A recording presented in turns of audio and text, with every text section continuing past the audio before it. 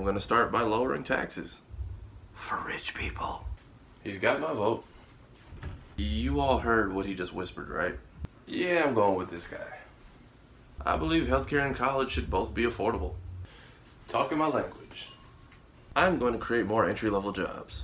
Yeah, I can get behind that. Love is love, anyone should be able to get married, and everyone on this earth deserves their basic human rights.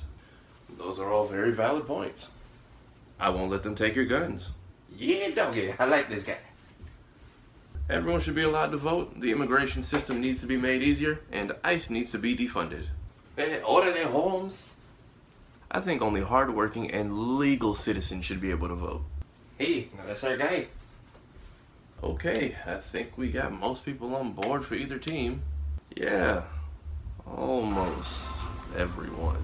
Oh, I'm, I'm sorry, can I help y'all? Well, we need a verdict here.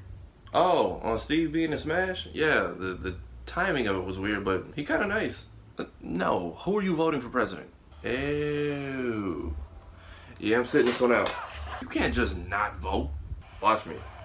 Your ancestors died for this right. Not specifically. Well, you can't let him win. That's that's your problem, not mine. Well, he can't win again. We have to get him out of office. Ah, we didn't put him there. Well, you still have to choose. You both know those guys exist, right? Well, that's just a wasted vote. So, let me get this straight. You both spent your entire campaigns having sit down, setting up meetings, forming agendas, and sometimes just straight up pandering to everyone else. But then when it's my turn, all I get is a lecture. Yes.